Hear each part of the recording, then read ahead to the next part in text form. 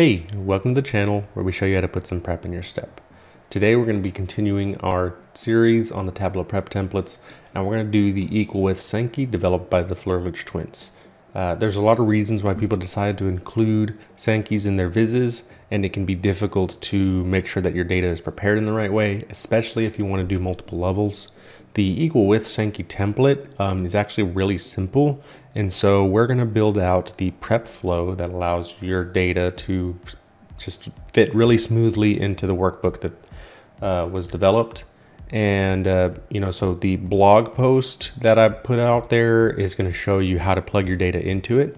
And right now we're just going to walk through how you build the prep flow itself. So let's dive in.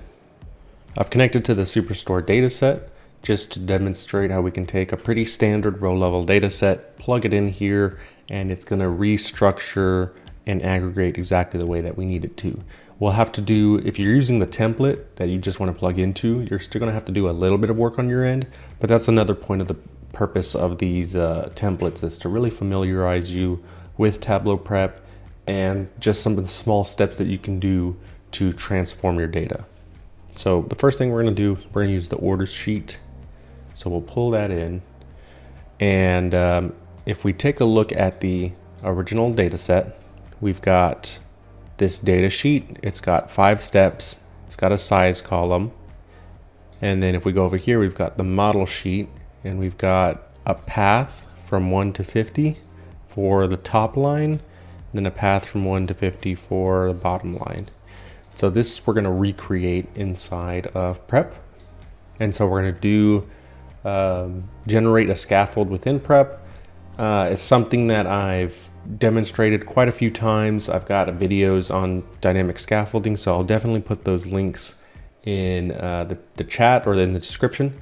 But um, I'll, I'll go ahead and recreate it really quickly for you as well. So what we're gonna do is we're gonna create a step here. We're gonna call this scaffold range. And what we're gonna do is we're gonna create a calculation called path start. And we're going to give that a value of 1. And then we're going to create a calculated field called path end. And we're going to give that a field uh, or a value of 50 because we want our path to go from 1 to 50. And then we're going to control and click those two fields and only keep those. So now I've got my path start of 1 and my path end of 50. Um, but you'll see that there's values here that are repeated because it created a or a, it created that value for every row in the data set. We just want one row, so we're going to pull an aggregate step in, call this deduplicate, and we're going to pull in both of those fields because this is going to return every unique grouping of the columns in your grouped fields there's only one unique grouping, which is 1 in 50, so I'm only going to get one row back. Then what we're going to do, because these are integers and we eventually want to generate a scaffold, the, they have to be in the same column. So we're going to pivot columns to rows. Uh, we're going to use uh, a wildcard on path. And then we're going to remove the pivot names field. So now we have one column with the values of 1 and 50. Exactly what we want. We'll call this pivot scaffold.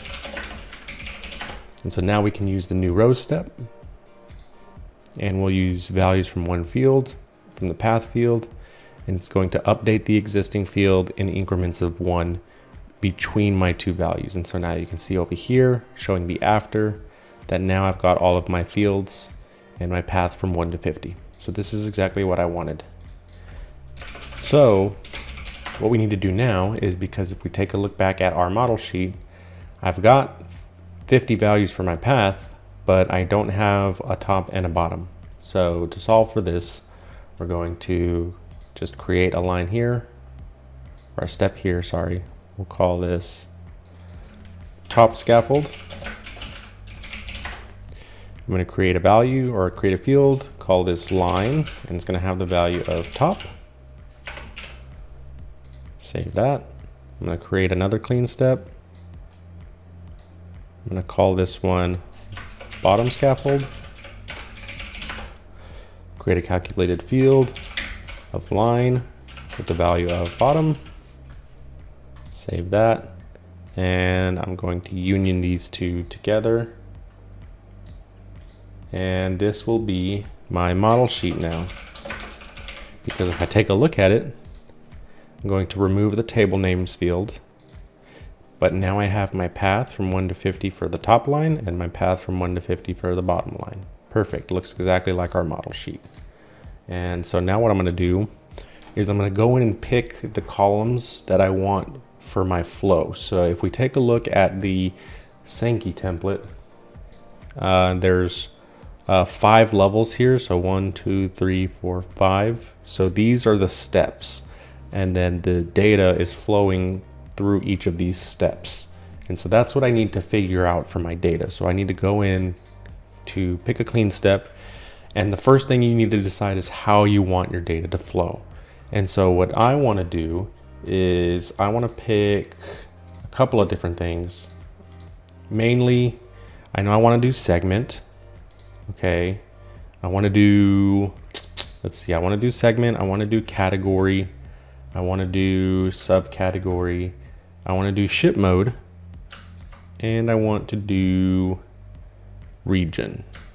So I'm going to, I controlled and clicked all of those and I'm going to keep Oh, and I also need one more field. So I've got my five steps and I need something that's going to be the size, the, the value that's flowing in through all those. So for now, I'm going to use sales. Now you could do less steps if you want, or you could do more. I'm just going to do it five to keep it simple to plug into the template, but you could do um, three steps. You could do two steps if you wanted. And so I'm going to keep only those fields. And the way that I want the data to flow is I want it to go from segment to subcategory or segment to category to subcategory to ship mode to region. So I'm just going to arrange these real quickly just to make it easier for me.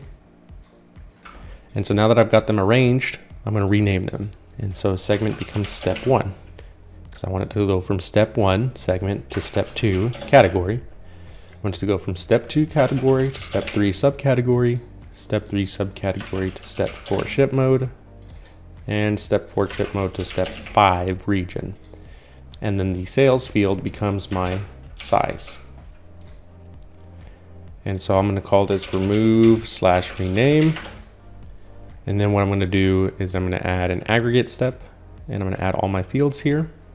I'm going to remove the number of rows field, but this aggregates my data to each of my steps. And so I'm going to call this, I'm just going to call this the data sheet because now this essentially matches the format of the data sheet in the original template.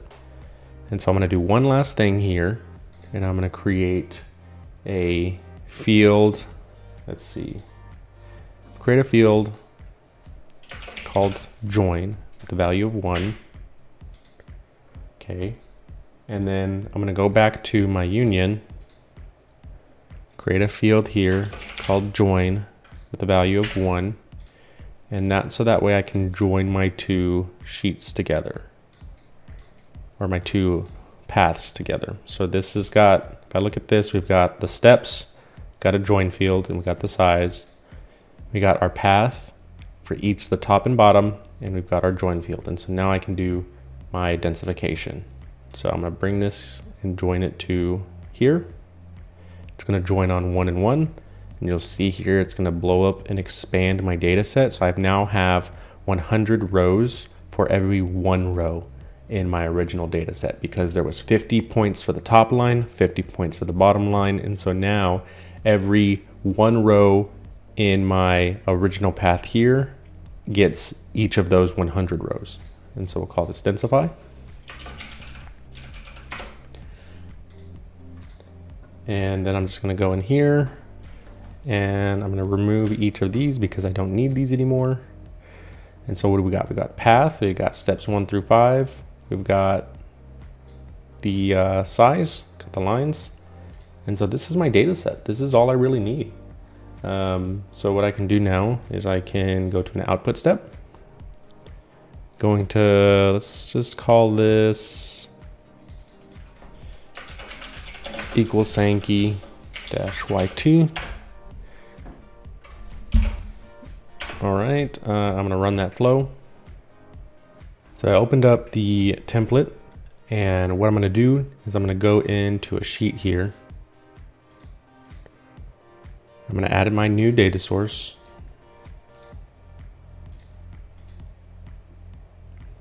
Okay, so now that we've got it added, there's a couple things that I need to do to make sure that this swaps out smoothly. The first thing, if I look at my original data source, I see that path is in dimensions. And then another important thing to note is that the size field right now is in whole numbers. Um, and so I can do this a couple of different ways, but what I'm gonna do is I'm actually gonna change the size in my original set to decimals. And then I'm gonna come over here and I'm gonna change move the path up to dimensions. And so see size here is in decimals. So I have to make sure that um, all of my fields are in the same place, same format to do a clean swap. And so now I'm gonna replace the data source, swap that over. And so, you know, these templates are ma made to make this process really easy, but if you want to really dive deeper, understand the vizzes themselves, the you know how this, the curves are happening, um, how Sankey's are formed inside of Tab Tableau, uh, check out the original blog posts from the Flerlage twins. They've got some fantastic detail in there. My purpose here with these templates is really just to help you understand how the data is structured behind the scenes um, and just how to create that for yourselves and how to use that in, with some real world data. And so we'll just wait for this to load for a second. Shouldn't take too much longer.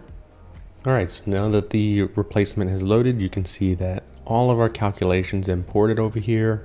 They came through just fine. We would have had some errors had we not made those two really simple changes uh, for the path and the size. But now if we go to our main page, you can see we've got our Sankey and it looks a little bit different because I'm using some different data, and different fields, but there you go. Um, that's how you build out the prep flow for the equal with Sankey. Like I said, I've already built it out for you. I'm going to put the link to the Google Drive that contains the flow. You've got the link to my blog post to show you how to plug it in.